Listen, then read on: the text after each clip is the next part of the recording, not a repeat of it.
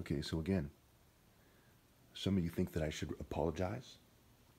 I will, for good measure, say that if I ever treated anybody unfairly, which I am blameless and I reject the possibility of, but for good measure, I will say that if that is the case, then I apologize.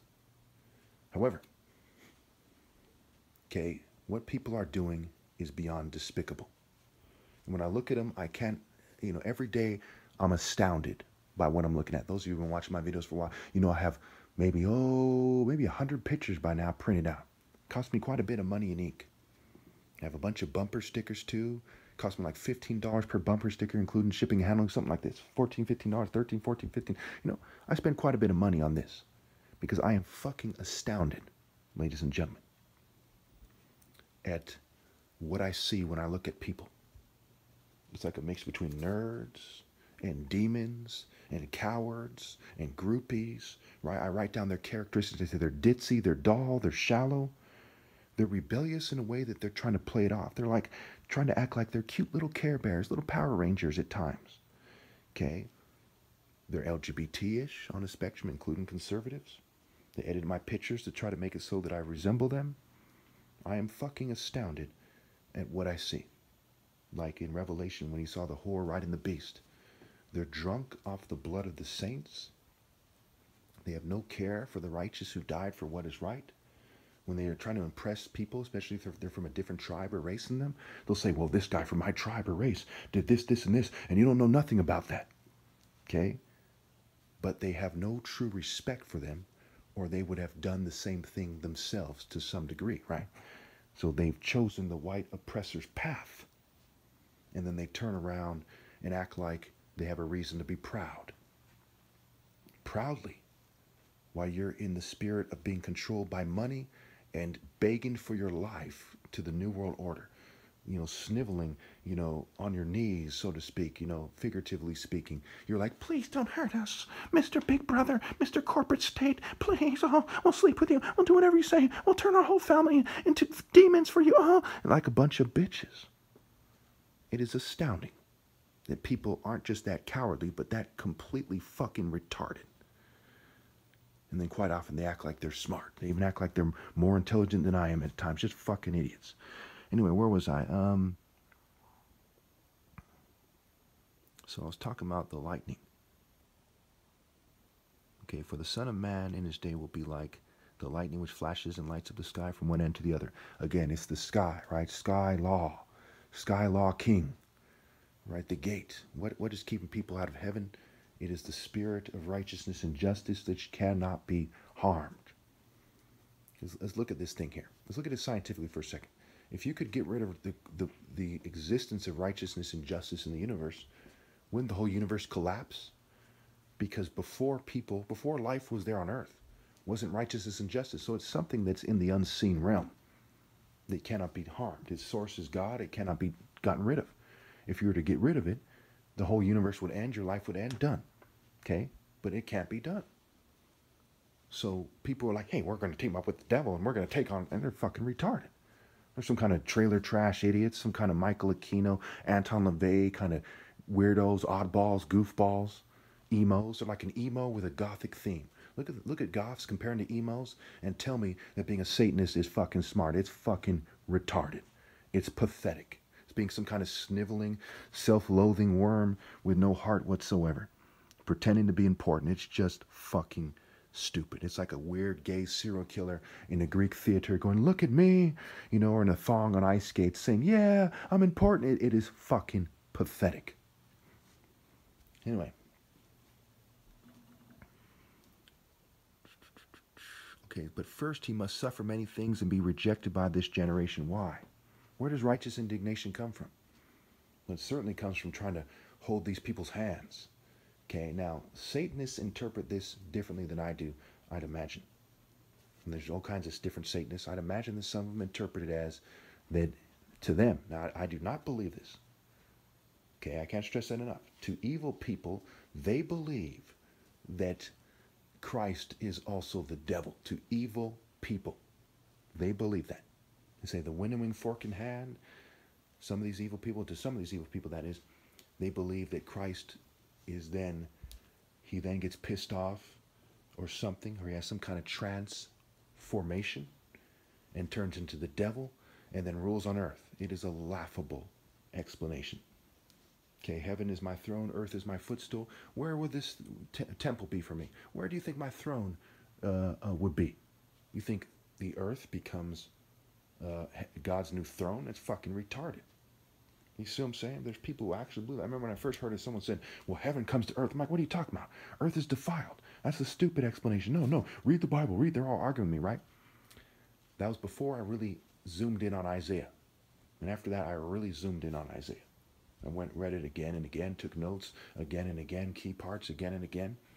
Says earth is going to be completely destroyed. It says the earth is defiled. They even used the same word that I did. I said that can't happen because the earth is defiled. And Isaiah said the earth is defiled. It, it sinks never to rise again. The Lord is mad at the earth and he's going to destroy the earth. It's going to be consumed by his angry fire, his, his consuming fire. Okay. All right. Um,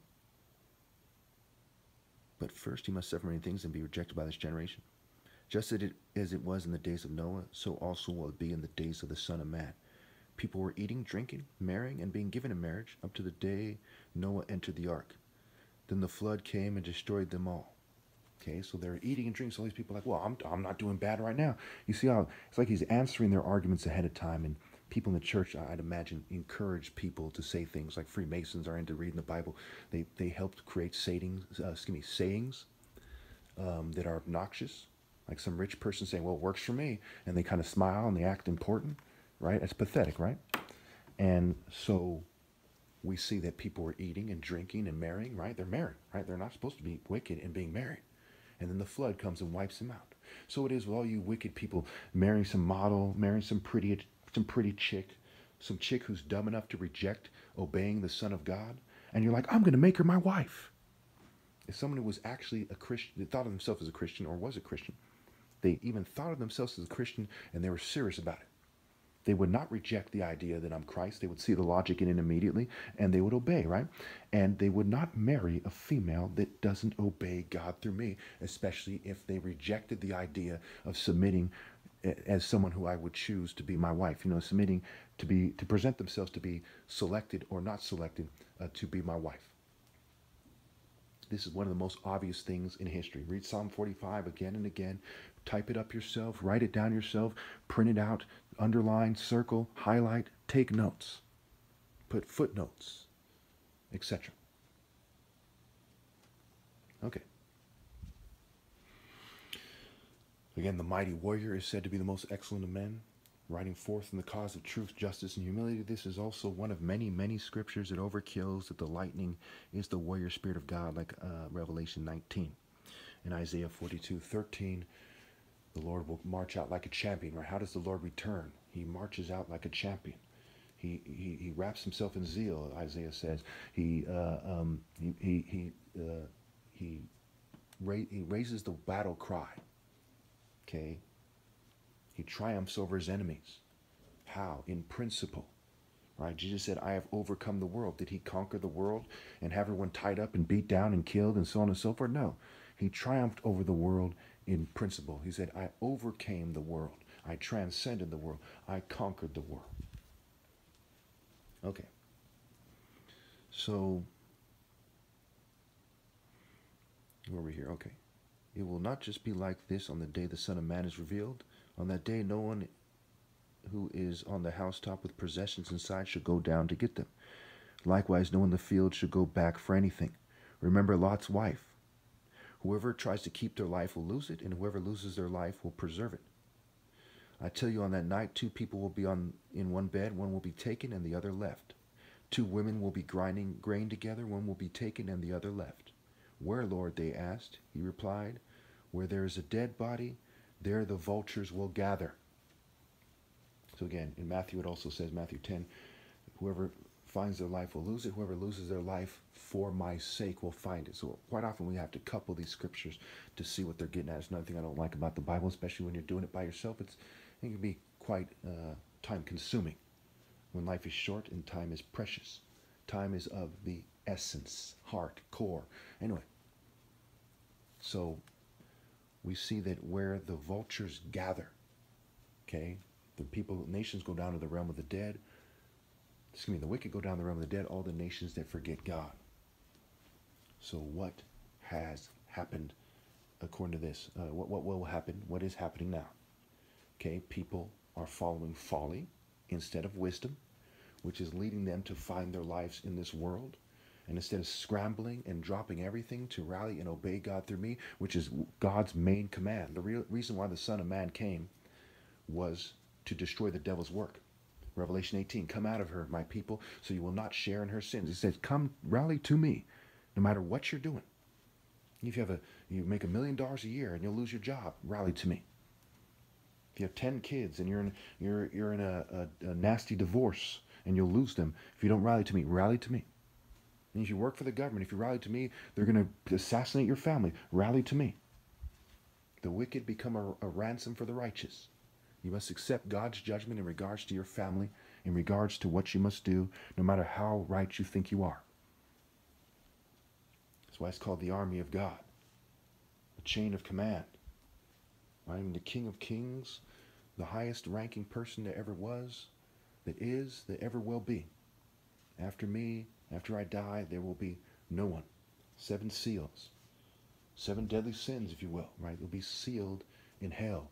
You'll be that wickedness in Zechariah, that wicked woman, that Babylonian woman who's, who's sealed in the basket. You'll be sealed out of heaven, damned to hell. The living water will not come to you anymore. It talks about one of the most confusing parts here, I'd say, is two women will be grinding grain together. One will be taken and the other left. Now, it was possible at the time when he wrote it that it could play out as some women end up coming to me, some don't.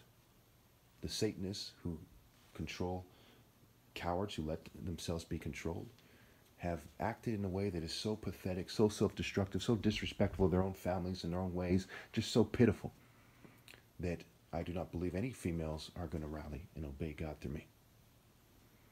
They say two will be grinding uh, so what are they referring to, right? What is the, the hidden message here? Two women will be grinding grain together, right? Grain, right? The bread of God, the shifting the, you know, the, the, the sifting the, the tares in the wheat, okay, and so on and so forth. They're separating the sheep and the goats, okay? Those females who are in the spirit of um, Jerusalem in the sky, which is referred to as their mother, okay, are taken. Those who are in the spirit of the world, okay, are, are left behind. How do we know? We know because of rally, right? The real alpha point, the rally point. If they don't rally to me and obey God through me, they're in the spirit of rebellion. The divine verdict is on my lips. When I say rally, which is how, you know, is the way to repentance, right? Narrow is the way, right? And if you don't, you go to hell. If you don't rally to me and obey and make it clear you obey, no wordplay, no secret society nonsense, then you're going to hell. That is the divine verdict. And people don't say, well, do you really think that's, you know, you're, I, I'll allow for you to say, for you to ask why that is, if you don't understand why that is. Okay? But I will not allow for you to break that verdict. Okay? If you do, you and your offspring are going to hell. Nobody's supposed to reproduce on this planet ever again. Okay? You, you as uh, mankind did it to yourselves. In your symbiotic planning, your symbiotic relationships, you did it to yourselves. And you are in the spirit of the woman in rebellion, Mount Sinai, sin, alpha I of this world. You're in the spirit of Cain. Can Cain argue that he's a son of Adam and God made Adam himself, therefore he has a covenant with God? No. You are in the spirit of rebellion. You are like your father, the devil. He was a murderer from the beginning. And when he lies, he speaks his native tongue. When he rebels, he does his native actions. And the reason why I came here is to separate those who are worthy, those who are destined to be separated because God sent me to them, and the dogs, the less than dog scum, who are in the spirit of the devil, who are headed for eternal punishment. Their identity is scum. Their parents were too stupid to, to, to not reproduce scum. They raised them to be scum. They were destined to be scum. And they were an abomination that is going to suffer forever.